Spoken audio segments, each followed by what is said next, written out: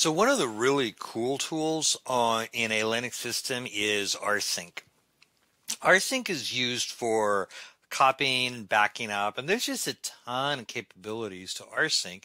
It is super, super powerful. It is very, very often used for backups.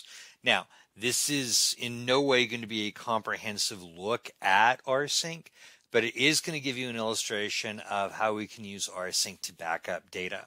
So here's what I want to do. I'm going to do cd period period and this is going to be all of my home folders for all of my users. Now I want to create a backup folder and I'm just going to put this on local device. Now using NFS or Samba or something like that, we can also do this to remote devices and it works great.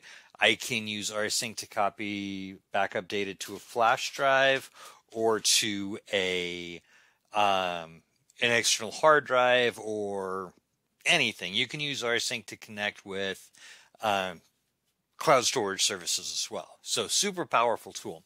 But I just want to do a local backup here just to illustrate how this can work. So I'm going to sudo and I'm going to make a directory forward slash backup.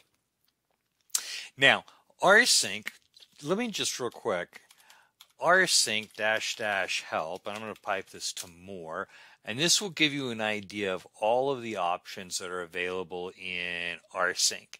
And you can see here how many pages I'm scrolling through. So very powerful tool.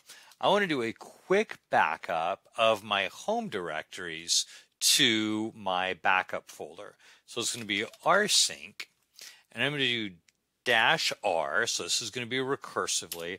I want to back up or rsync from home to backup.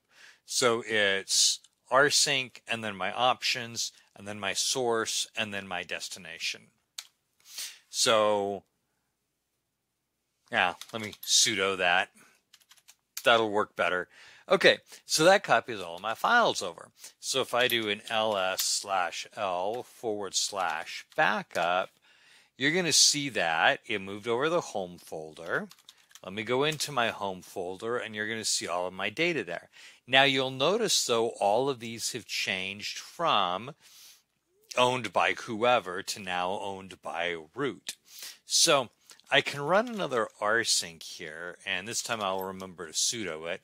I want to rsync and I want to do dash a from forward slash home to forward slash backup. Now, the dash A is an archive and this preserves metadata.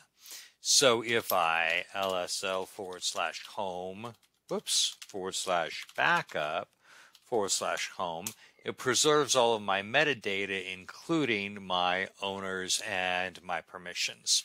So that was just a real quick backup from my home directory, and I could have done this with any other directory, and I could have done it to any other location.